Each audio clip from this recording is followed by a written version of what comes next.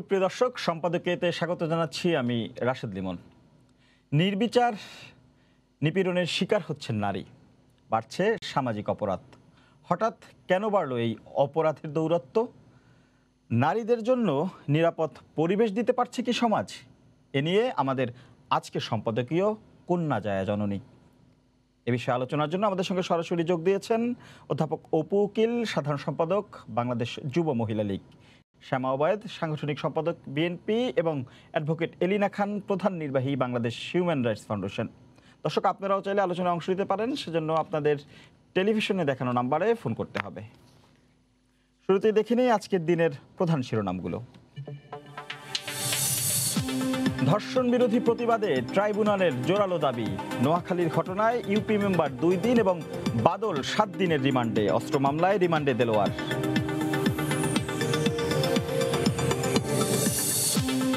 গণভবনে চালের নমুনা পর্যবেক্ষণ করলেন প্রধানমন্ত্রী। ডাটাবেজের মাধ্যমে গুদাম ব্যবস্থাপনার নির্দেশনা পরামর্শ দিলেন ভাদ্র মাসে গুদামের উপর নিচ করার। কক্সবাজারে রোহিঙ্গা ক্যাম্পে আধিপত্য বিস্তারকে কেন্দ্র করে দুই গ্রুপের সংঘর্ষে নিহত চার। সপ্তাহব্যাপী উত্তেজনা নিয়ন্ত্রণে কাজ করছে আইনশৃঙ্খলা রক্ষা বাহিনী মেডিকেল ভর্তির প্রশ্ন ফাঁস করে কোটিপতি স্বাস্থ্যের কর্মচারী আব্দুল সালাম। সিন্ডিকেটে চিকিৎসক কোচিং সেন্টার। ধরা হবে শিক্ষার্থীদেরও। এবং বারো সভাতেও আসেনি সিদ্ধান্ত, এখনও অন্ধকারে। যানজট নিরসনে রাজধানীর বাস রুট পুনর্বিন্যাস প্রকল্প সরকারের কাছে হস্তান্তরের কথা ভাবছে দুই মেয়র।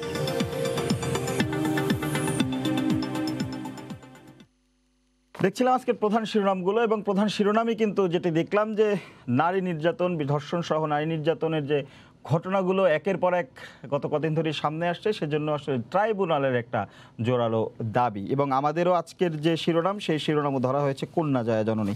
আমি একটু আমাদের সঙ্গে তিনজন অতিথি আছেন, তাদের সঙ্গে একটু কথা বলার কথা শুরু করার আগে একটি জিনিস শুরু করতে চাই। যে বিষয়টি, বেগমগঞ্জের বিষয়টি তো যেমন আছেই, তার সঙ্গে আমাদের এই আজকে একটি খবর থেকে আমি বেশ কিছু অংশ যদি শোনাই যে হবিগঞ্জে রোববার সন্ধ্যায় সিএনজি অটোরিকশা আত্মীয়র বাড়িতে যাওয়ার সময় এক গৃহবধূকে তুলে নিয়ে সংঘবদ্ধভাবে ধর্ষণ করে অটোরিকশা শ্রমিকরা। রাঙামাটিতে পঁচিশ সেপ্টেম্বর হারিয়ে যাওয়া এক শিশু ছাগল খুঁজতে গিয়ে তাকে জোরপূর্বক ছাত্রাবাসে নিয়ে ধর্ষণ করা হয়। বান্দরবনে সাতাশ সেপ্টেম্বর সদরবাজারের এক গলিতে মানসিক ভারসাম্যহীন এক নারীকে ধর্ষণ করে এক বখাটে। দিনাজপুরে দিনাজপুরের বিরলে চাকরির প্রলোভন দেখে স্কুল ছাত্রীকে ধর্ষণের ঘটনায় সহায়তাকারী এক নারী সহ দুজন আটক এবং সবশেষ কিছুক্ষণ আগে একটি খবর এসেছে যে আইন শৃঙ্খলা রক্ষা বাহিনী যদিও জায়গার নাম বলেনি, আমাদের যেটি জানিয়েছেন যে দীর্ঘদিন ধরে নিজের কন্যাকে ধর্ষণের দায়ে এক পিতাকে গ্রেফতার করা হয়েছে। এই ছিল কেবলমাত্র আমাদের আজকের দিনের বেশ কয়েকটি নিউজের খণ্ডচিত্র, যেগুলো আসলে মিডিয়া এসেছে, যেগুলো আইন শৃঙ্খলা রক্ষাকারী কাছে এসেছে ঠিক সেগুলোই আসলে তুলে ধরতে পেরেছি। এর অগচরেরগুলো নাই বললাম। আমাদের সঙ্গে আছেন অধ্যাপক অপু আপনিও আজকে এই নির্যাতনের বিরুদ্ধে আপনাকেও রাজপথে দাঁড়িয়ে আছে। আসলে এই সমাজ কি এই ধর্ষণ বা এই নির্যাতনের দায় এড়াতে পারে কিনা? অপু উকিল। হ্যাঁ, প্রথমত হলো বিশ্বের সব জায়গায় নারীরা নির্যাতিত হয়। সেটি যত উন্নত দেশই হোক আর যত অনুন্নত দেশই হোক এটি এবং এই নির্যাতন এই নির্যাতন রোধেও আবার আমাদের সমাজ সোচ্চার হয়। আমরা, আমাদের দেশের যে সাম্প্রতিক ঘটনাগুলো, সেই ঘটনার বিষয়ে আমরা রাজপথে আজকে দাঁড়িয়েছিলাম। দাঁড়িয়েছিলাম এই কারণে যে কোনো অন্যায়ের, যে কোনো সন্ত্রাসের অপরাধের ধর্ষণের যে কোনো অপরাধের বিরুদ্ধে প্রতিবাদী হলে দুটি বিষয় সেখানে কাজ করে। প্রথমত, প্রতিবাদের মধ্য দিয়ে যারা অপরাধী, তাদের কাছে যে মেসেজটা কমিউনিকেট করা হয়, তারা যা করছে, সেটি সমাজ সভ্যতার জন্য অন্যায় করছে। তাদের সেই জায়গা থেকে বেরিয়ে আসতে হবে। তাদেরকে আমরা ঘৃণা করছি এবং তাদের আইনের আওতায় এনে তাদের তারা যে অন্যায় করেছে, তার বিরুদ্ধে শাস্তি প্রদানের জন্য আমরা সোচ্চার হয়েছি। এবং আরেকটি বিষয় এখানে আমরা বলেছি যে সরকার এবং সরকার প্রধান, মাননীয় প্রধানমন্ত্রী জননেত্রী শেখ হাসিনা, তাকেও আমরা রাজপথে দাঁড়িয়ে ধন্যবাদ জানিয়েছি। ধন্যবাদ জানিয়েছি এই কারণে যখনই কোথাও কোনো অপরাধ সংগঠিত হয়, সেটি যে ধরনেরই অপরাধ হোক সেই অপরাধীদেরকে শাস্তির আওতায় আনবার এবং শাস্তি বিধান করার দায়িত্বটি কিন্তু রাষ্ট্রের।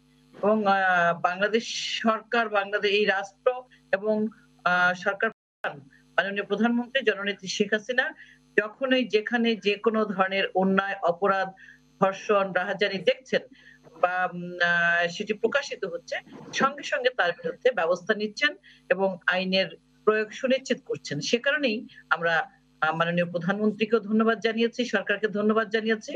পাশাপাশি আমরা এটি বলতে চেষ্টা করেছি যে সমাজকে আরও বেশি সজাগ করা, জাগ্রত করা এবং সবাইকে দল, মত এগুলোর ঊর্ধ্বে উঠে সবাইকে এক কাতারে এসে এর বিরুদ্ধে যেন আমরা সোচ্চার হই। আমাদের মধ্যে যেন গণজাগরণ সৃষ্টি হয়। অর্থাৎ যে যেখানেই আমরা আছি, সেই জায়গা থেকেই এই অন্যায়কারী অপরাধী, এই নারীদের উপর যারা অত্যাচার করতে করে বা করেছে বা করতে চায়, তাদের বিরুদ্ধে যেন আমরা সোচ্চার হই, তাহলে এই বিষয়গুলো কমে যাবে। এবার আসে যে আপনি অনেকগুলো ঘটনা বললেন বা সাম্প্রতিক সময় বের হয়েছে। এই ঘটনাগুলো যে হঠাৎ করে এখন ঘটছে বা আমরা বেরিয়ে আসছে তা কিন্তু নয়। এমন একটি সময় ছিল, সেই সময়টিতে কিন্তু আমরা অনেক কিছুই জানতাম না।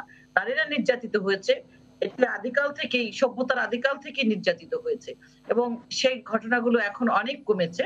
তবে যেখানে যে অন্যায়গুলো হচ্ছে, সেটি কিন্তু ডিজিটাল বাংলাদেশের কারণে আমরা এখন জানতে পারছি। যে কারণে ঘটনাগুলো আমাদের জনসমক্ষে আসছে। যেমন ধরুন, নোয়াখালীর যে ঘটনাটি, এই ঘটনাটি ঘটেছে মাসখানেক আগে এবং যিনি ভিকটিম তিনি কিন্তু বিচার দাবি করেনি। তিনি কোনো প্রশাসনের সহযোগিতা চাননি। ওনারা পালিয়েছিলেন। কিন্তু আমরা দেখলাম এই ডিজিটাল বাংলাদেশের কল্যাণে সেটি সোশ্যাল মিডিয়াতে ছড়িয়ে পড়ল। সঙ্গে সঙ্গে সরকার অ্যাকশনে গেল এবং তাদেরকে গ্রেপ্তার করে আইনের আওতায় নিয়ে আসলো। এটি যদি ডিজিটাল বাংলাদেশ না হতো, জননেত্রী শেখ হাসিনার আধুনিক বাংলাদেশ না হতো, তাহলে কিন্তু সেই কাজটি সম্ভব হতো না। এবং দেখবেন যে আজকাল কিন্তু ডাকাতি হয় না কোথাও। ডাকাতে আমরা ডাকাত দেখছি না, ছিনতাইকারী দেখছি না। এই এবং আগে যে সন্ত্রাসী কর্মকাণ্ডগুলো ঘটতো, সেগুলো কমে গেছে। এরও কারণ, এই কারণেই এখন প্রত্যেকটি মানুষের ঘরে ঘরে ডিজিটালাইজড হওয়াতে ক্যামেরা রয়েছে। তারা সকলেই মোবাইলে ক্যামেরা ইউজ করছে এবং তথ্যগুলো বের করে যেখানে যে ছবি তুলে সেটি দিয়ে দিচ্ছে। এবং ডাকাতরা যেখানেই সংঘবদ্ধ ভাবে হবে, সেটি আজ নজরে চলে আসছে। ছিনতাইকারীরা বিভিন্ন সিসি ক্যামেরা আছে। বিভিন্ন ধরনের তাদের ব্যাপারে ডিজিটালাইজড করার কারণে তারা এখন অনেকটাই আন্ডারগ্রাউন্ডে চলে গেছে। এই যে সমাজ ব্যবস্থার পরিবর্তন, রাষ্ট্রের পরিবর্তন, দেশের পরিবর্তন, এটি জননেত্রী শেখ হাসিনা সরকার করেছেন। আমরা আশা করছি আগামীতে এবং বাংলাদেশের সকল জনগণ একত্রিত হয়ে এই যে নারীর বিরুদ্ধে যে অত্যাচার, নির্যাতন, এগুলো আরও কমে যাবে এবং দেশের জনগণ একত্রিত হয়ে এটিকে প্রতিহত করবে। জি, ধন্যবাদ আপনাকে। আমি একটু শ্যাম আহমেদ আপনার কাছে ফিরতে চাই। যেমনটা বলছিলেন যে অধ্যাপক অপু উকিল যে সমাজ ব্যবস্থার একটি পরিবর্তন এসেছে, যার পরিবর্তনের ফলে ডিজিটালাইজড হয়েছে এবং সেই ডিজিটালের প্রভাবেই আসলে ঘটনাগুলো একে একে সামনে আসতে পারছে এবং বিচারের আওতায় আনা হচ্ছে। কিন্তু তিনি আরও একটি কথা বলেছেন, এই শাস্তি, এই ধর্ষক বলি বা নির্যাতনকারী বলি, এদের শাস্তির আওতায় আনার দায়িত্ব রাষ্ট্রের। আপনি কি মনে করেন রাষ্ট্র সেই দায় রাষ্ট্র কি সেই দায়িত্ব পালন করছে কি না? ধন্যবাদ আপনাকে। আমার সাথে যারা আজকে নারী নেত্রীরা যুক্ত হয়েছেন তাদেরকে শুভেচ্ছা জানাচ্ছি। আমরা করোনাকালীন মহামারীতে আছি, তার সাথে ধর্ষণ মহামারী যুক্ত হয়েছে। এখন আওয়ামী লীগের এখানে যিনি প্রতিনিধিত্ব করছেন, অপু উকিল যেটা বললেন যে বাংলাদেশ ডিজিটাল হওয়াতে ধর্ষণ ঘটনাগুলো আমরা জানতে পারছি। তো এখন আমি বুঝতে পারছি না যে এখন আমরা ডিজিটাল বাংলাদেশ হওয়াতে ধন্যবাদ জানাব সরকারকে? নাকি এই ধর্ষণগুলো যে হচ্ছে এটার প্রতিবাদ জানাব? এখন প্রথম কথা হচ্ছে যে ধরেন বাংলাদেশে যদি ফেসবুক নাও চলতো, এটা তো ফেসবুকে ভাইরাল হয়েছে? বাংলাদেশে ধরেন ফেসবুক চলছে না, কথার কথা। তর্কের খাতিরে ধরে না যে বাংলাদেশে ফেসবুক চলে না, কিন্তু পৃথিবীর সব জায়গায় ফেসবুক চলে। সেই ক্ষেত্রেও কিন্তু এই ভিডিওটি পৃথিবীর সব জায়গায় ভাইরাল হতে পারতো। ঠিক আছে? এখানে আমি আমি এইটা মানে আমি কীভাবে প্রশান্তিতে থাকব যে ডিজিটাল বাংলাদেশ হওয়াতে এই ধর্ষণগুলো ধরা পড়ছে এবং আসামিগুলো ধরা পড়ছে। আমি যে বেগমগঞ্জের কথাই আমি যদি আসি, উনি বলেছেন যে এরা কিছু করে নাই। রং ইনফরমেশন বত্রিশ দিন আগে, এই তেত্রিশ দিন আগে এই ধর্ষণ হয়েছে। এই ফ্যামিলিটাকে জিম্মি করে রাখা হয়েছে। এবং যারা এই মহিলাকে ধর্ষণ করেছে, তারা ওই যে একজনকে যে ধরেছে পুলিশ দেলোয়ার সে আগে সিএনজি চালক ছিল। আওয়ামী লীগে এসে সে একটা বিশাল বেগমগঞ্জের একটা বিশাল ডন হয়ে গেছে একটা বিশাল নেতা হয়ে গেছে এবং আজকে কালের কণ্ঠে ফার্স্ট পেজে ছবি আছে যে এই দেলোয়ার ওই এলাকার আওয়ামী লীগের এমপি কে এমপির সাথে ছবি তাকে ফুল দিয়ে বরণ করছে ঠিক আছে? এখন আপনি এই গেলেন বেগমগঞ্জের কথা এইটা কিন্তু আমরা ভুল তথ্য দিচ্ছেন উনি, যে উনি বলছেন যে ফ্যামিলি কিছু করে নাই। ফ্যামিলিকে জিম্মি করে রাখা হয়েছিল। প্রশাসন বত্রিশ দিন ধরে কি করেছে? পুলিশ বত্রিশ দিন ধরে কেউ কি করেছে? কিছুই কি তারা জানে না? এটা কি, এটা তো কমন সেন্সের ব্যাপার। বেগমগঞ্জ একটা বিশাল শহর না, বিশাল এলাকা না, যে এখানে একটি ঘটনা নৃশংসভাবে ঘটবে, একটি পরিবারের সাথে, একটি মানুষের সাথে, একটি নারীর সাথে, সেটা কেউ জানবে না। সুতরাং এই তথ্যগুলো দিয়ে মানুষকে বিভ্রান্ত করা ঠিক না। আপনি দেখেন ওনারা যেভাবে বলছেন স্বরাষ্ট্রমন্ত্রী বলছেন, আওয়ামী লীগ সবাই তোতা পাখির মতো একই কথাই বলে, স্বরাষ্ট্রমন্ত্রী বলেছে যে, বিশ্বের কোন জায়গায় ধর্ষণ হয় না। এই কথাগুলো যখন সরকারের উচ্চ পর্যায় থেকে আসে, তাহলে ধর্ষকদেরকে আমি মনে করি প্রশ্রয় দেওয়া হবে হয়। বাংলা পৃথিবীর অন্য কোনো দেশ নিয়ে আমাদের এখন এই মুহূর্তে মাথা ব্যথা নেই। আমাদের মাথা ব্যথা হচ্ছে আমার দেশের নারীরা ধর্ষিত হচ্ছে, আমার আমার দেশের শিশুরা ধর্ষিত হচ্ছে, আমার দেশের বাহাত্তর বছরের বৃদ্ধাও ধর্ষিত হচ্ছে। আমার আমার সমস্যাটা সেখানে। তবে এক এক জায়গায় আমি একমত যে এটা শুধু যে কোনো একটি রাজনৈতিক দলের সমস্যা না, এটা আমাদের দেশের সমস্যায় পরিণত হয়েছে। এবং এই সমস্যাটা ক্রিয়েট হয়েছে, আমি মনে করি যে ছাত্রলীগ, আপনি যেখানেই দেখেন, আপনি যে কয়টা, আপনি যেই আপনার ভূমিকায়, আপনি যে কয়টা ঘটনা আজকে বললেন এটাই প্রমাণ হয় যে বাংলাদেশে ধর্ষণ ধর্ষণ একটা মহামারীতে পরিণত হয়েছে। আপনি লক্ষ্মীপুরের গণধর্ষণ দেখেন, আপনি বেগমগঞ্জে দেখেন, আপনি তারপর সিলেটে শ্রমিক লীগ দ্বারা ধর্ষিত হয়েছে, ঢাকায় ছাত্রলীগের একজনকে অ্যারেস্ট করা হয়েছে ধর্ষণের জন্য। এই যে প্রত্যেকটা ঘটনায় বেরিয়ে আসছে কোনো না কোনো লীগের লোক জড়িত। কেন? কারণ যেহেতু তারা মনে করে যে তারা যেহেতু ক্ষমতায় আছে ইট ইজ দেয়ার রাইট তারা ইচ্ছা করলে একজনকে ইফটিজিং করতে পারবে, ইচ্ছা করে একজনকে তুলে নিতে পারবে, ইচ্ছা করে একজনের দিকে অ্যাসিড নিক্ষেপ করতে পারবে, ইচ্ছা করে একজনের ওয়াইফকে তুলে নিয়ে ধর্ষণ করতে পারবে। তাদের এটা মনে করে, এটা তাদের রাইট এবং কেন রাইট কারণ তাদের কোনো বিচার হয় না। আপনি দেখেন ক্যাসিনো কাণ্ডে এই পাপিয়া সম্রাটদের এই যে আজকে পেপারে বিশাল বিচার এসছে যে প্রত্যেকটা মামলা অত্যন্ত ধীর গতিতে চলছে, কোনো কিছুই আগাচ্ছে না। আজকে ছাত্রলীগ, যুবলীগ, কৃষক লীগ বা যে কোনো লীগ, তারা ক্ষমতার অপব্যবহার এই কারণে করছে কারণ তারা জানে যে আমরা যে, তারা যেভাবে ভোট ডাকাতি করে ক্ষমতায় থাকতে পারে, সেভাবে মানুষকে ধর্ষণ করে, মানুষের ইজ্জত হানি করে, তাদের, তাদেরকে অপমান করে তারা ক্ষমতায় থাকতে পারে, কারণ এখানে কোনো বিচার আলটিমেটলি আমরা সুষ্ঠু বিচার হতে দেখি না। বাস্তবতা হচ্ছে সেখানে। এমসি কলেজের ঘটনাটা, দেখেন ছাত্রলীগ তারা কতগুলো ছেলে দিনের পর দিন ওখানে খাচ্ছে, ঘুমাচ্ছে হোস্টেলে থাকছে, কিন্তু ছাত্রলীগ, আওয়ামী লীগ তারা প্রতিদিন বলে যাচ্ছে এরা ছাত্রলীগ করে না। তাই ছাত্রলীগ না থাকলে এরা- এরা এরা তো ছাত্রলীগের সদস্য হিসেবে ওখানে প্রোগ্রাম করছে, ওখানে বিভিন্ন জায়গায় যাচ্ছে। কিন্তু এই যে ডিনায়েল এই যে তাদের যে আওয়ামী লীগের একটা অ্যাটিটিউড হচ্ছে, প্রথম অ্যাটিটিউড হচ্ছে যে এটা সব জায়গায় ঘটে, তো এখানেও ঘটে। এটা একটা ভুল ভুল মানে ব্যাখ্যা।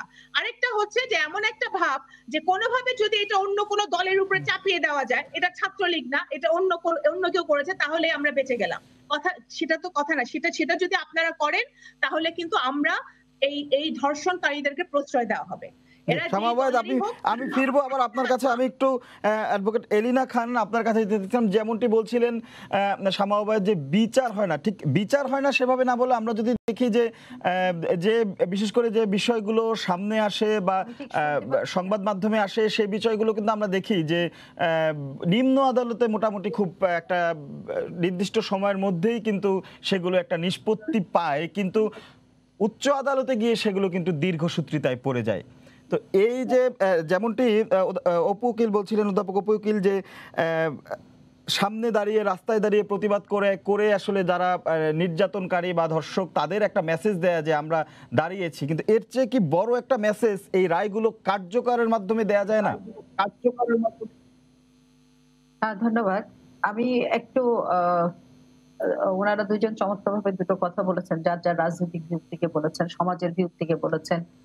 বা জাতিগত সমস্যা নিয়ে বলেছেন। আমি একটু বলতে চাই যে, আপনি যদি জাজমেন্টের কথা বলেন, তাহলে বাংলাদেশের যে পরিমাণ মামলার আছে, সেই পরিমাণ মামলাগুলো যদি দ্রুত নিষ্পত্তি করা যায়, তাহলে সেই ক্ষেত্রে আপনাকে আদালতের অবকাঠামো তৈরি করতে হবে। জাজ, জাস্টিসের সংখ্যা বাড়াতে হবে ম্যান পাওয়ারের সংখ্যা বাড়াতে হবে লজিস্টিক সাপোর্ট বাড়াতে হবে।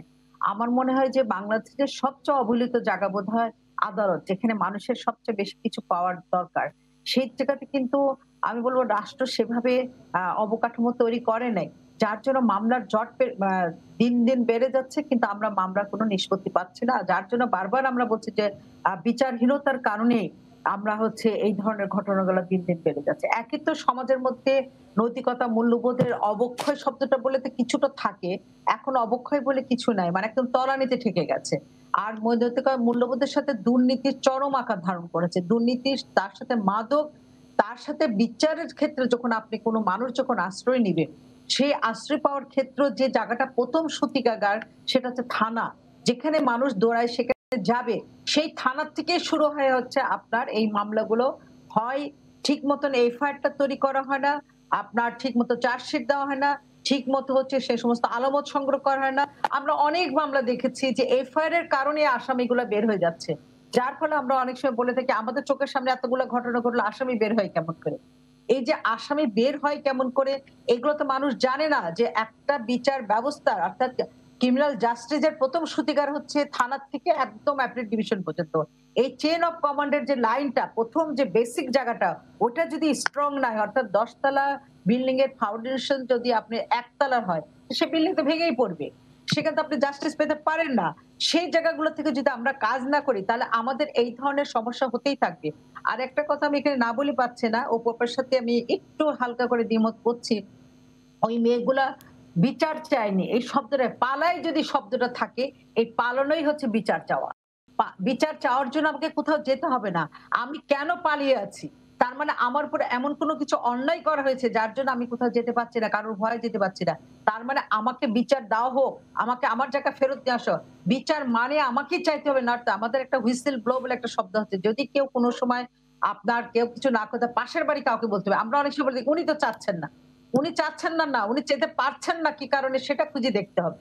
এই জায়গাগুলো থেকে আমরা না যে, আমরা যেটা জানতে চাই যে, এই যে নারী নির্যাতন, রেপের ঘটনা প্রতিদিন, প্রতি মুহূর্তে আমরা যা মিডিয়ার মাধ্যমে পাচ্ছি, তার থেকে অনেক অনেক প্রচুর পরিমাণ সারা বাংলাদেশে রেপের ঘটনা ঘটছে, যেটা কখনো আসছে কোর্টে, কখনো আসছে না আইনের আশ্রয়। কারণ আইনে যখন আপনি যাবেন, প্রথম বিড়ম্বনা থানা থেকে শুরু হয়ে যায়, সমাজ থেকে শুরু হয়ে যায়, তাদেরকে চাপ সৃষ্টি করা হয়। আর এখানে যে ঘটনাটা হচ্ছে, সেটা দুই ধরনের লোকের এখানে পেশে শক্তি, দুর্নীতির সাথে সম্পৃক্ত এবং রাজনৈতিক ছত্রছায়। এই তিনটার যখন শক্তির মধ্যে সন্ত্রাসীরা অবস্থান করে তখন কিন্তু তাদের লেখাপড়ার কোনো খোঁজ দরকার নেই, তারা কি প্রফেশন করে সেটা দরকার নেই। তাদের একটাই পরিচয়, তারা সন্ত্রাসী এবং তারা আমার তো মনে হয় যে এখন নেতৃবৃন্দদেরকে এরাই ব্যবহার করে। নেতৃবৃন্দ এদেরকে ব্যবহার করে কিনা জানি না, কারণ এরা এরা যেভাবে না থাকলে তারা চলতে পারে না। সেই জায়গাগুলো থেকে ভাবার দরকার? যে রাজনীতিবিদদের, আমরা যাদের, যে সময় রাজনীতিবিদদের কথা শুনলে আমাদের মনের ভিতরে এক ধরনের স্বপ্ন জাগে। যদি আমি বঙ্গবন্ধুর কথাই বলি, তো উনি ডেকেছিলেন, তাহলে স্বাধীনতার সেই প্রশ্নগুলো এসছে। তা আমরা সেই রাজনীতিবিদদের কেন দেখতে পাচ্ছি না? সেই ব্যক্তিত্ব কেন আসছে না আমাদের দেশে? কেন সেই এই এখন যে রাজনীতিবিদ আছে সেই জায়গা থেকে? আমি আরেকটা কথা বলতে চাই। মাননীয় প্রধানমন্ত্রী সর্বোচ্চ সর্ব জায়গার একটা জায়গায়, সেখানে ওনাকে সবসময় কাজ করতে হবে। তাহলে কি আমি বলে নেব যে আমার বডি প্যারালাইজড হয়ে গেছে মাথা চলছে? যেখানে আমার স্বরাষ্ট্র মন্ত্রণালয় আছে, যেখানে স্থানীয় সরকার আছে, যেখানে অন্যান্য মন্ত্রণালয় আছে, যাদের কাজ করা দরকার, তারা কোনো কাজ করছে না। মাননীয় প্রধানমন্ত্রী যখন বলছেন তখনই কাজ হচ্ছে। তার মানে অল বডি প্যারালাইজ মাথা শুধু আমাদের চলতেছেন মাননীয় প্রধানমন্ত্রী রেসপেক্ট করে যে উনি আমাদেরকে সেই জায়গায় নিয়ে যাচ্ছেন। কিন্তু আমার প্রশ্ন হচ্ছে যে এত বড় একটা মন্ত্রণালয় চলতেছে, এত বড় একটা জায়গাগুলোতে অনেক মানুষ কাজ করছে, তাহলে সেই জায়গাগুলোতে তাদের কাজটা কি? তারা যে টাকা নিচ্ছে তারা যে বেতন ভাতা নিচ্ছে, তাদের দায়িত্ব কর্তব্য কি পালন করছে? আজকে কিছুক্ষণ আগে আপনাদের এখানে দেখলাম যে মেডিকেলে একজন কর্মচারী কোটি টাকার মালিক হয়ে গেছে। একটা ড্রাইভার কোটি টাকার মালিক হয়ে গেছে। কোটি তো কম বললাম, হাজার হাজার কোটি অর্থাৎ পিছনে আবার হাজার লাগাইতে হবে। মালিক হয়েছে। তখন যুব সমাজ, কর্মহীন যুব সমাজের মধ্যে এক ধরনের প্রতিক্রিয়া হয় যে আপনি যখন যুব সমাজের সামনে কোনো আদর্শ না রাখতে পারবেন, তখন যুব সমাজ, এই কর্মহীন যুব সমাজটা মাদকে আক্রান্ত হবে। এই ধরনের ঘটনা ঘটবে কারণ তাদের সামনে কোনো কাজ নেই। তারা দ্রুত বড় হতে চায়। এই ড্রাইভার এই দুই একটা কথা নিয়ে আমরা কেন চিন্তা করছি? এই ড্রাইভার এই যে কর্মচারী, এই সময় যে চেন অফ কমান্ডের মধ্যে যে বড় লোকরা ছিল, তাদেরকে কেন ধরা হচ্ছে না? আমার কথা হলো যে ড্রাইভারের সাথে সেই সময় যখন যে ব্যক্তির, উনি কাজ করেছেন, উনি তো নিজে সই করেন নাই। কার দিয়ে সইটা করিয়েছেন কার দিয়ে কাজটা করেছেন, তাদেরকে কেন ধরা হচ্ছে না? এই যে না ধরার প্রবণতা, এই যে বড় জায়গাগুলোতে আমাদের হাত দেওয়া না প্রবণতা, যার জন্য কিন্তু এই ধরনের ঘটনাগুলো প্রতিনিয়ত ঘটছে? বিচারহীনতা সংস্কৃতি বলছে, বিচার ব্যবস্থা ক্রিমিনাল জাস্টিস সিস্টেমটাকে পুরো চেঞ্জ বা চেঞ্জ বলব না সংস্কার করার দরকার। সেই সংস্কারের মধ্যে আমি নতুন এলিনা খান আমি একটু যুক্ত করতে চাই।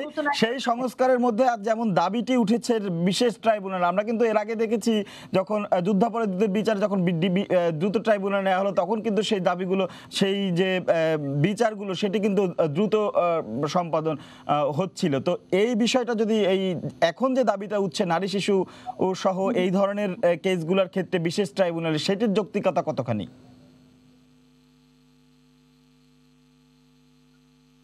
এই জায়গায় খুব একটা ইন্টারেস্টিং ব্যাপার। নারী শিশু নির্যাতন দমন মানে ট্রাইব্যুনাল নিজেই একটা শর্ট মানে ট্রায়ালের মধ্যে শেষ করার কথা। 180 দিন। কার্য দিবসের মধ্যে আশি এই মামলাটা আশি।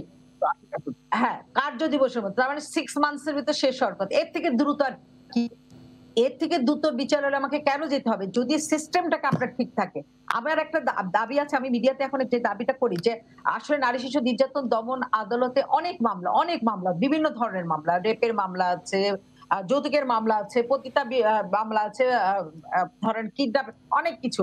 আমার কথা হলো যে, একটা কোর্টে স্পেশালি দেওয়া হোক প্রত্যেকটা জায়গায় যেখানে রেপের মামলা আছে, শুধুমাত্র সেই রেপের মামলাগুলোকে দ্রুত এটা শেষ করার জন্য ব্যবস্থা গ্রহণ করা। একই সঙ্গে হাইকোর্টে আমি একটা অনুরোধ করব ডেথ রেফারেন্সের যেমন আলাদা একটা কোর্টে করে দেওয়া হয়েছে আগে ছিল বিভিন্ন কোর্টে হতো সেরকম একটা এই রেপের যে ঘটনাগুলো সেখানেও যদি এক ধরনের একটা কোর্ট করে দেওয়া হয় তাহলে আমরা একটা দ্রুত যেহেতু এখনও অবকাঠামো আমরা চেঞ্জ করতে পারছি না তাহলে আমাদের সেই জায়গাটা করতে হবে। আর একটা কথা গুরুত্বপূর্ণ আমি যেখানে মনে করি যেটার জন্য আমাদের সবচেয়ে বড় সমস্যা আমাদের জুডিশিয়াল সেপারেশন হয়েছে। কিন্তু আমাদের জুডিশিয়ালের যে সমস্ত কার্যক্রম চলে আইন মন্ত্রণালয়ের আন্ডারে। আইন মন্ত্রণালয়ের আন্ডারে থাকার ফলে যেটা হচ্ছে সেখানে নিয়োগ বদলি এই যে এই যে নিয়োগ বদলির যে একটা বড় একটা ঘটনা ঘটে সেখানে কিন্তু অনেক ধরনের মেধাবী জাজ আমরা হারাই ফেলি। তার মানে আপনি বলছেন এই পুরো পুরো বিষয়টাকে একটু একটু ঢেলে সাজাতে হবে। আমি একটু আবারও আসছি অধ্যাপক অপু- না, অপু সেটা না, অপু উকিল separate চাই। আহ, আমি যে আমি একটা সেক্রেটারি চাই। সেটা হচ্ছে আমাদের ডিভিশনের আন্ডার একটা সেপারেট সেক্রেটারি থাকবে, যার আন্ডারে যার মাধ্যমে মেধাবী সমস্ত কিছু ঘটনাগুলো, আমি বলব না যে বিচারকরা মেধাবী না, কিন্তু তাদের মধ্যে সংখ্যা থাকে যে তারা বদলি একটা ব্যাপার আছে, তারা কোথায় যাবে? এই জায়গা থেকে তাদের সংখ্যা মুক্ত করে আমার মনে হয় যে এই বিষয়টাকে নিয়ে আসা দরকার, একটা সেপারেট জুডিশিয়াল একটা সচিবালয় তৈরি করা, যেটা অ্যাপিলেট ডিভিশনের আন্ডারে এটা থাকবে। জি। ধন্যবাদ আপনাকে। অধ্যাপক অপু- অপু আপনার কাছে ফিরতে চাই। যেমনটি বলছিলেন অধ্যাপক অ্যাডভোকেট এলিনা খান যে পরিবর্তনের কথা বলছিলেন, সামাজিক একটা পরিবর্তনের কথা বলছিলেন। পাশাপাশি কিছু, বেশ কিছু প্রশ্ন ছুড়ে দিয়েছেন শামা বয়েদ আপনার কাছে যে পুলিশ প্রশাসন নিয়ে প্রশ্ন তুলেছেন এবং তিনি বলেছেন যে, এই সব মানে রিসেন্ট সময় যে বিষয়গুলো উঠে এসেছে, তাদের অনেকের সঙ্গে রাজনৈতিক সম্পৃক্ততা খুঁজে পাওয়া গেছে। এই বিষয়ে তিনি আপনার কাছে প্রশ্ন তুলেছেন। আমি একটু জানতে চাচ্ছি যে যেমনটি এলিনা খানও বললেন যে রাজনীতিকে আসলে দুর্বৃত্তরা ব্যবহার করছে কিনা? এটি সম্পূর্ণ তারা ওনারা ওনাদের রাজনৈতিক দৃষ্টিভঙ্গি থেকে বলেছেন? কিন্তু আসলে যে ঘটনাটি সেটি হলো যে আমরা একটি বিষয় এখানে পরিষ্কার করতে চাই। দেখুন যেহেতু শামা বলেছেন তার দলের ব্যাখ্যা দিয়ে আমি বলতে চাই যে এখানে আহ, মা- আমাদের মাননীয় প্রধানমন্ত্রী জননেত্রী শেখ হাসিনা বলেছেন যে দুর্নীতি যারাই করবে এবং অপরাধ যারাই করবে, সেটা আমাদের দলের যত বড় নেতাই হোক, যত আপনজনই হোক, কেউ কিন্তু ছাড় পাবে না। এটি মাননীয় প্রধানমন্ত্রী পার্লামেন্টে দাঁড়িয়ে বলেন, সবসময় তিনি বলেন। তার যে এই কথা, সেটি কিন্তু তিনি আবার কাজের মধ্য দিয়ে প্রমাণও করেন। কীভাবে প্রমাণ করেন? সেটি বাংলাদেশের মানুষ জানছে, আপনারাও দেখছেন। এই যে যেমন এখানে বলা হলো যে ধর্ষকদের, বা আইনের আওতায় আনা, তাদেরকে গ্রেফতার করা, এর জন্য তো বিএনপি দাবি তোলে নাই। কিংবা অন্যান্য সংগঠনগুলো, মানবাধিকার সংস্থা, তারাও কিন্তু কেউ বলেনি। এটি কিন্তু সরকারের পক্ষ থেকেই সরকার করেছে। কারও যেটি বিএনপির সময় হয়েছে, কি হয়েছে আমি বিএনপি পেছনে যেতে চাই এই কারণে এক্সাম্পলটা দেওয়ার জন্য। যেমন বিএনপি দু সালে ক্ষমতায় এসেই প্রথম যে কাজটি করেছিল, যারা নৌকায় ভোট দিয়েছে, সেই ফ্যামিলি গুলোতে গিয়ে ওই মায়ের মা, বাবা সন্তান মায়ের মা এবং মেয়েকে একসাথে গ্যাং রেপ করেছে ছাত্রদল এবং পুলিশ পাহারা দিয়েছে বাইরে। পূর্ণিমার কথা আপনারা জানেন। পূর্ণিমার মা, তা সে দূরে দাঁড়িয়ে বলছিল যে, মা, তো বাবারা, তোমরা আমার মেয়েটাকে মেরে ফেলো না। তোমরা আমার মেয়েটা যেন বেঁচে থাকে। তো এইভাবে তারা তাকে রেপ করেছে এবং পূর্ণিমার মামলাটা কিন্তু তারা নিতে দেয়নি। এরকম চোদ্দ হাজার চোদ্দ হাজার নারীদেরকে ছাত্র দল শুধুমাত্র নৌকায় ভোট দিয়েছে তার ফ্যামিলি সেই জন্য ধর্ষণ করেছে, মা মেয়েকে একসাথে করেছে, ধর্মীয় সংখ্যালঘুদেরকে, তাদের কন্যাদেরকে, স্ত্রী বা নারীদেরকে। তারা ধর্ষণ করেছে রাতের বেলা পুকুরের মধ্যে গিয়ে ডুবে থেকে তারা বাঁচার চেষ্টা করেছে।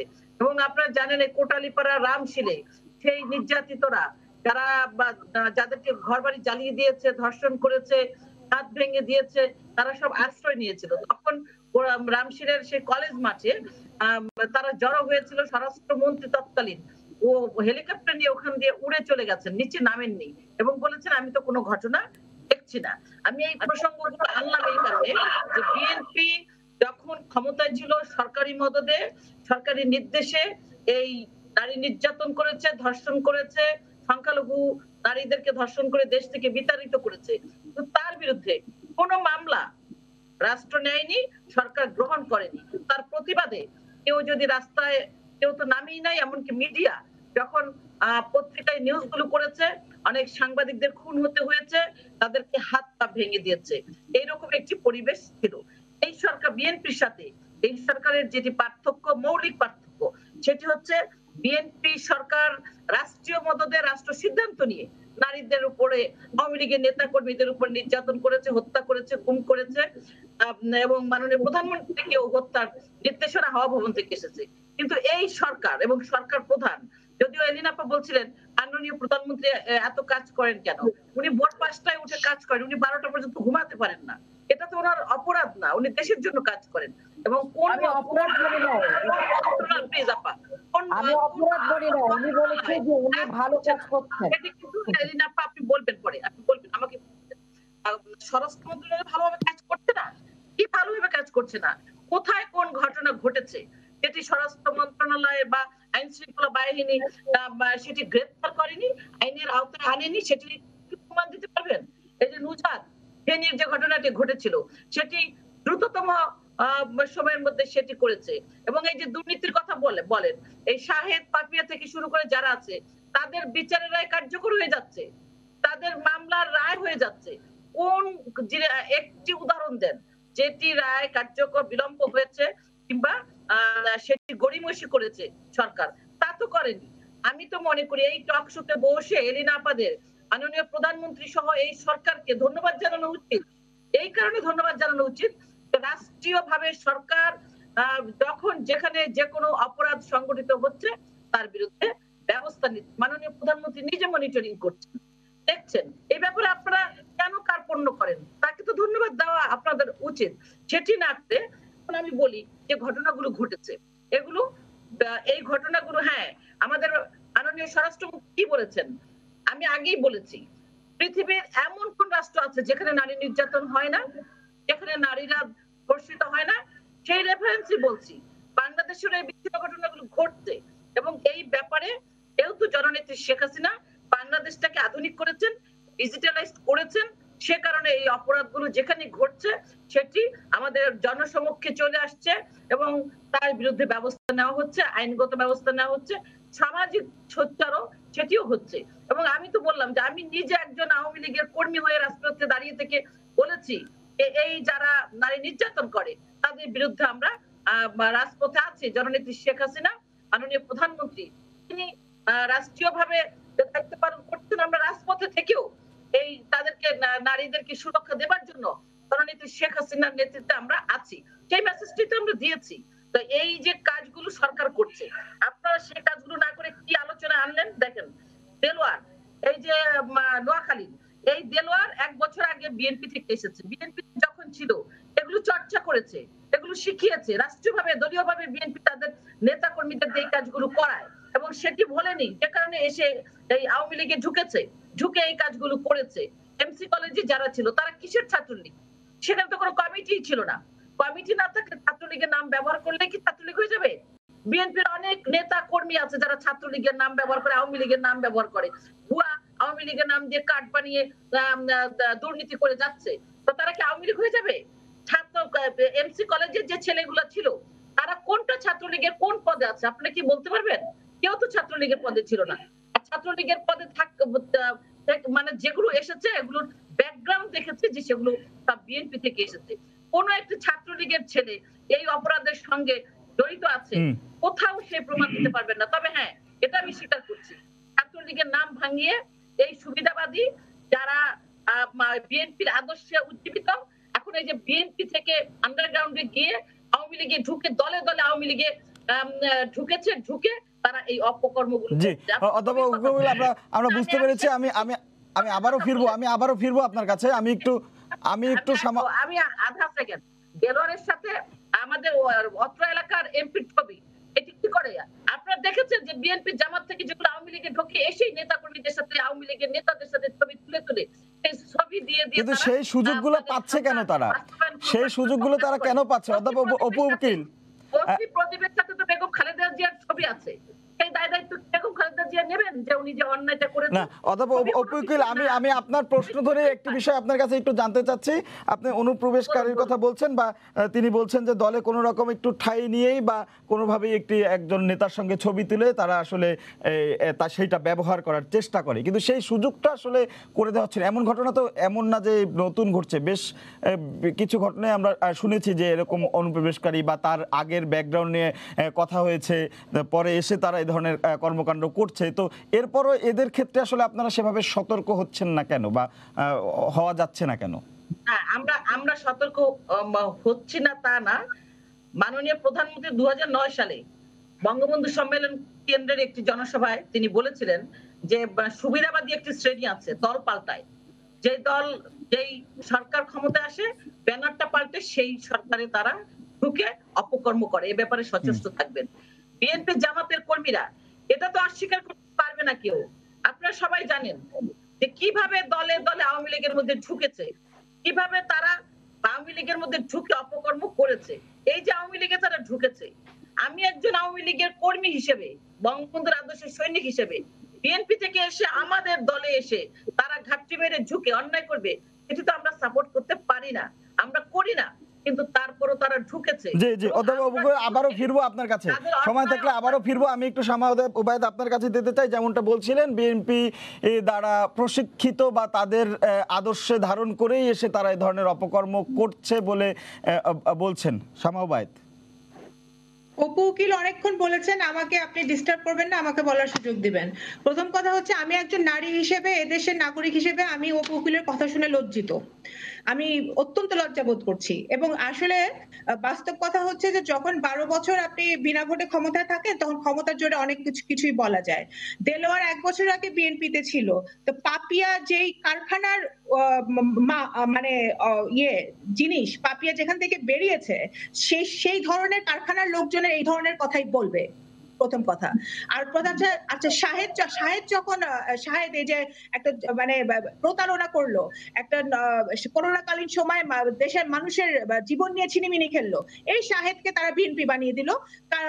কিন্তু পরে দেখা গেল যে শাহেদ তাদের উপকমিটির আন্তর্জাতিক বিষয় উপকমিটির সদস্য। এই যে ছাত্রলীগ এই যে মিরপুরে যে ধর্ষণ হয়েছে, ঢাকা মহানগর উত্তর ছাত্রলীগের সহসভাপতি সবুজ, এ তো পদ পদবী হোল্ডার তো সে সে তো তাকে তো, সে তো এই, এই- ধর্ষণ, ধর্ষণের জড়িত তাকে অ্যারেস্ট করা হয়েছে। তো সুতরাং গায়ের জোরে ভাই অনেক কথা বলা যায়। এখন এখন সব যারা ধর্ষণ করছে না, সব বিএনপি জামাত থেকে আসছে। আওয়ামী লীগের সব ধোয়া তুলসী পাতা। এখন প্রথম কথা হচ্ছে যে, উনি আজকে মাঠে নেমেছে। অপু উকিলকে পুলিশ কোনো বাধা দেয় নাই। আমি নিজে, আমি শামা ওবায়দ, আমার একটা সংগঠন আছে, আমি একজন মুক্তিযোদ্ধার সন্তান। আমি আমি আমার সংগঠন প্রজন্ম থেকে দুই দিন মাঠে নেমেছি, এর মধ্যে। প্রেস ক্লাবের সামনে আর আর আমাদের পল্টন অফিসের সামনে, দুই দিনই। পুলিশ আর পুলিশ। পল্টন অফিসের সামনে আমাদেরকে মাইক ব্যবহার করতে দিবে না। কেন? আমার ইস্যুটা কি ছিল? আমি আমি এই বিচারের দাবিতে বিএনপি বিচারের দাবি চাইনি? বিএনপি ডেফিনেটলি বিচারের দাবি চেয়েছে, প্রত্যেকদিন চেয়েছে। ছাত্র দলকে বাধা দিয়ে দেওয়া হয়েছে। ছাত্র ইউনিয়নকে আজকে, ছাত্র ইউনিয়নের ছেলে মেয়েদের উপরে পুলিশ বাধা দিয়েছে, তাদেরকে লাঠি পেটা করেছে। অপু উকিলকে তো কিছু করে নাই। ছাত্র, ছাত্রলীগ যে সন্ধ্যার সময় আবার নামালো মিছিল, তো ছাত্রলীগকে তো কিছু করে নাই। তাহলে আমি আমি তাহলে এটা কি বুঝব? আমি আমি একজন এদেশের নাগরিক হিসেবে, একটা রাজনৈতিক কর্মী হিসেবে আমি এটা কি ধরে নিব? যে আমরা যখন বিরোধী দল, বিরোধী মত, সেটা বিএনপি হোক বা অন্য কোনো দল হোক, আমরা যখন মাঠে নেমে বিচার দাবি করব, সেটা অন্যায়, সেটা করা যাবে না। কিন্তু আওয়ামী লীগ কিন্তু তো আওয়ামী লীগ সবচেয়ে ভালো কাজটা আওয়ামী লীগ কি করতে পারে জানেন? আইওয়াশ। এখন ছাত্রলীগ, ছাত্রলীগের লোকই ধর্ষণ করছে, ছাত্রলীগ নেবে, আবার ওদের ওদের বিচার চাচ্ছে। খুব ভালো কথা ফাইন বিচার চান। কিন্তু আপনারা যখন বলেন যে পাপিয়ারা, সম্রাটরা, দেলোয়াররা বিএনপি থেকে আসছে, এটা হাস্যকর একটা ব্যাপার হয়ে যায়। এটা আপনারা করেন না। এটা আমাদের একজন, আপনি একজন নারী, আপনি একজন মা, আপনি আমি আমি একজন মা। ফার্স্ট আমি একজন মা, আমি একজন নারী, আমি রাজনৈতিক কর্মী পরে। আমি একজন নারী হিসেবে, একজন মা হিসেবে আমি লজ্জিত যে আমি এই বাংলাদেশের নাগরিক। বাংলাদেশে আমরা আগামী বছর, পঞ্চাশ বছর পূর্তি পালন করব আমাদের মহান স্বাধীনতা স্বাধীনতার। এই আমাদের পাক খানাদার বাহিনীরা আমাদের মা বোনদেরকে ধর্ষণ করেছিল। তাদেরকে আমরা বীরঙ্গনা, আমরা খেতাবে দিয়েছিলাম। তারা এই মুক্তিযুদ্ধের সাথে তারা জড়িত ছিল। কিন্তু আজকে পঞ্চাশ বছর পরে এই লীগ বাহিনীরা যারা যেটা করছে, সেটা পাক হানি- হানাদার বাহিনীদেরকে হার মানায়। তো সুতরাং আজকে আমাদের যদি বিএনপি যখনই উকিলরা টকশোতে এসে বলে যে বিএনপি কি করেছিল, তখনই কিন্তু এই ছাত্রলীগ এবং কৃষক লীগ এবং যুবলীগের লোকজন প্রশ্রয় পায়। তারা তারা মনে করে যে তারা আগামীকাল আরেকটা ধর্ষণ করতে পারবে এবং অপু উকিলরা আবার টকশোতে এসে তাদের তাদের সাফাই গাবে। এই জিনিসটা আমাদের বন্ধ করতে হবে। এবং রাষ্ট্রের মদতে বিএনপি করেছে? ভাই, রাষ্ট্রের মদতে আপনারা বিচার আপনারা দুই হাজার নয় সালে যখন ক্ষমতা এসেছিলেন, আপনাদের ইশতেহারে বড় করে লেখা ছিল যে বিচার বহির্ভূত হত্যাকাণ্ড শূন্যে নামিয়ে আসবেন। সেটা উল্টো করেছেন। আপনারা সিনা হত্যার প্রমাণ হয়েছে যে রাষ্ট্রের মদতে বিচার বহির্ভূত হত্যাকাণ্ড হয়। এলিনা আপা যে একটা পয়েন্ট এনেছে, থানার ওসি এমসি কলেজের যে ছেলেগুলা এটার সাথে জড়িত ছিল, তাদেরকে ওই যে আপনার আপনার ডিজিটাল বাংলাদেশে ফেসবুকে দেখা গেছে যে ওই থানার ওসির সাথে ওই ছেলে ওই ওই গ্রুপের ছেলেগুলো তারা কথা বলছে কীভাবে তাদেরকে সেভ করা যায়। এগুলো, এটাও ভাইরাল হয়েছে। তার মানে কি? প্রশাসনের বিভিন্ন জায়গায় আপনারা, এরা মদত পুষ্ট এবং প্রশাসনের বিভিন্ন ভাবে তারা এই ধর্ষকদেরকে এই আপনার এই যারা ক্রাইম করছে, তাদেরকে তারা মদত দিচ্ছে।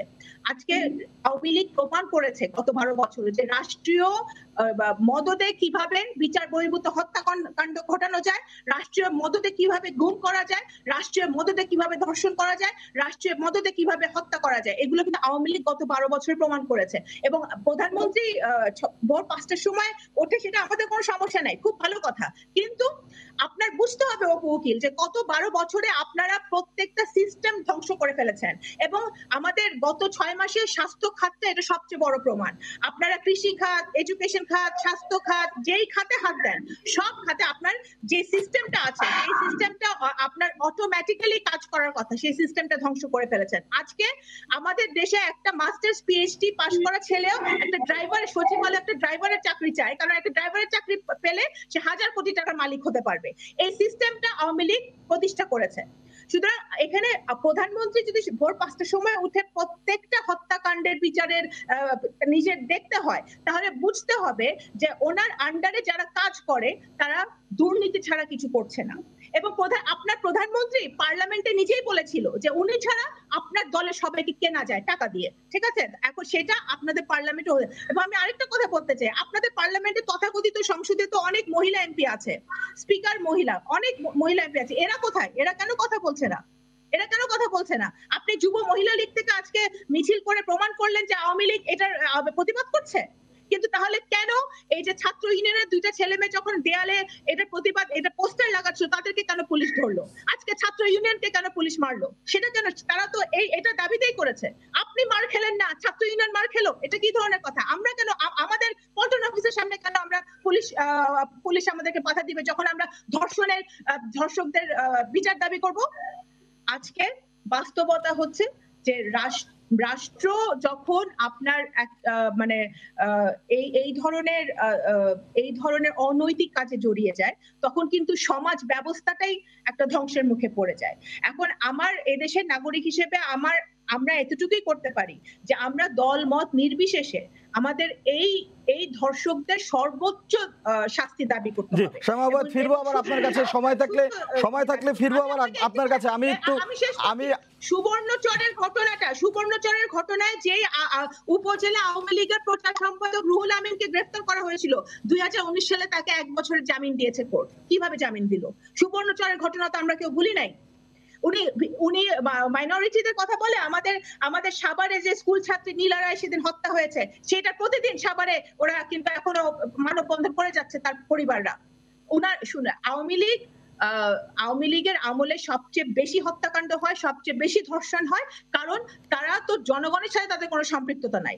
তারা মনে করে দুই হাজার আঠারো আঠারো সালের আগের দিন রাতে যেভাবে ভোট ডাকাতি করে ক্ষমতায় এসেছিল সেই জোটটা তারা সবার উপরে খাটাতে পারবে শ্যামাবাদ ধন্যবাদ আপনাকে। আমি একটু এলিনা অধ্যাপক অ্যাডভোকেট এলিনা খানের কাছে ফিরতে চাই। আমি একটু আহ, জানতে চাচ্ছি যে যেমনটি আহ, বলছিলেন যে সব কিছু ভুলে আসলে আহ, সমাজ থেকে এ ধরনের কালিমা মুক্ত করতে হলে আসলে আহ, কি করণীয়?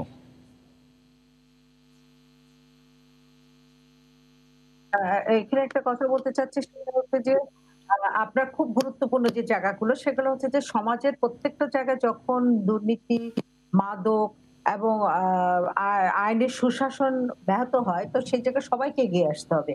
সেটা পরিবার থেকে শুরু করতে হবে। একই সঙ্গে পরিবার পরিবার সাথে স্কুল, স্কুলে থেকে আমাদের সমাজের যত জায়গা আছে, সেই জায়গাগুলোতে কাজ করতে হবে। এই জায়গাটা কাজ করবে কে? রাষ্ট্র।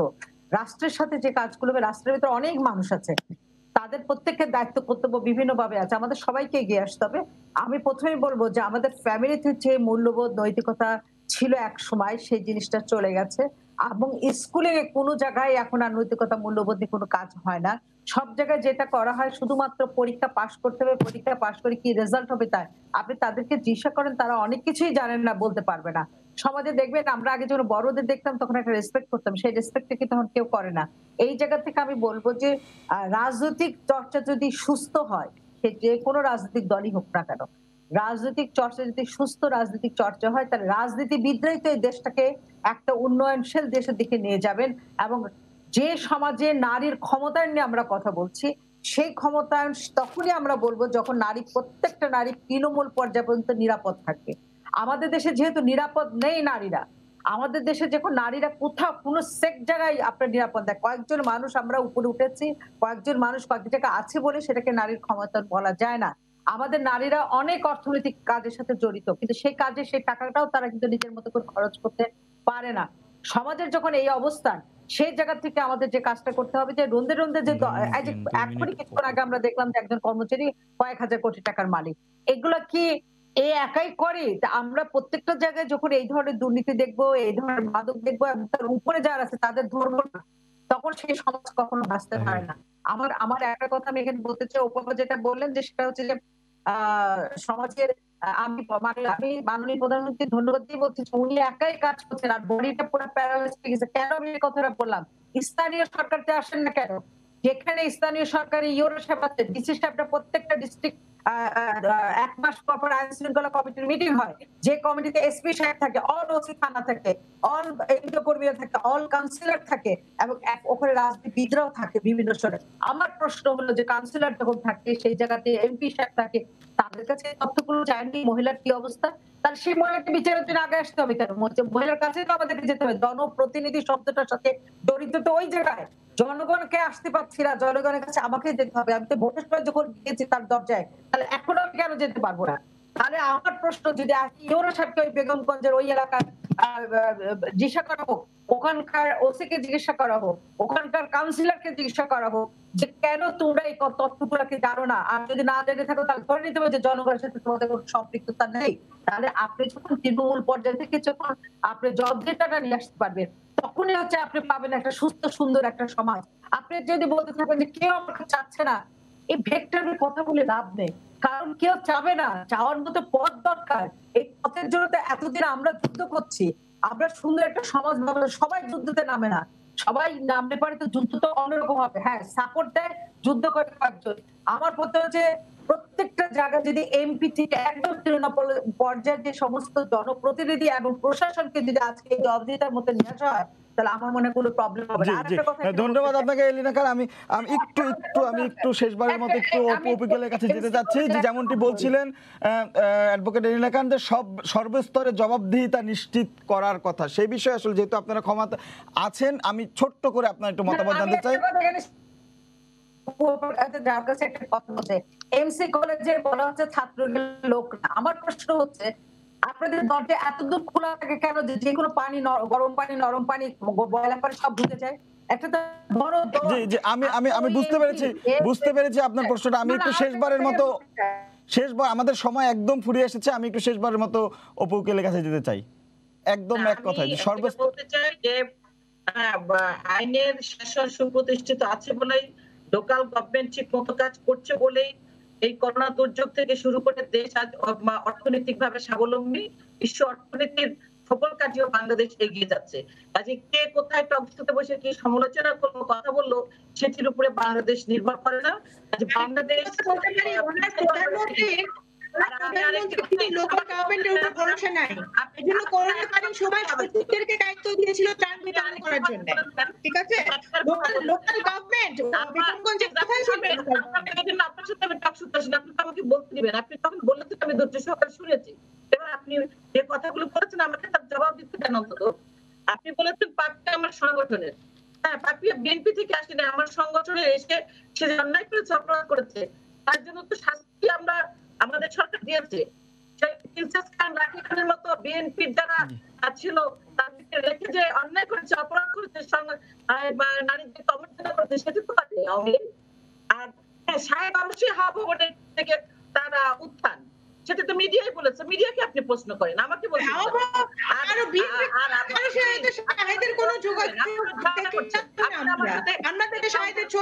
রাষ্ট্রীয় তর্কের খাতিরে হয়তো তর্ক আসবে কিন্তু আসলে যে কথাটি অপু বলছিলেন শাস্তি নিশ্চিত করা আমরাও চাই। অপরাধী যেই হোক দলমত সেক্ষেত্রে না বিবেচনা করে যেমনটি তিনি বলছিলেন যে শাস্তি নিশ্চিত করা হবে সেই শাস্তি নিশ্চিত করা হোক। সর্বক্ষেত্রে সামাজিক যে মূল্যবোধের কথা বলা হচ্ছে বারবার, সেই মূল্যবোধ গড়ে উঠুক। একদমই সামাজিক যে একটি মূল্যবোধের বলয়, সেই বলয় গড়ে উঠুক। আমরা চাই ঘরে বাইরে সব জায়গায় নিরাপদ থাকুক আমাদের কন্যা যায় জননী। সেই প্রত্যাশা রেখে সবাইকে ধন্যবাদ জানিয়ে আজকের মতো শেষ করছি সম্পাদকীয়। আগামীকাল আবারও দেখা হবে রাত দশটায়। দেখার আমন্ত্রণ রইল। শুভরাত্রি।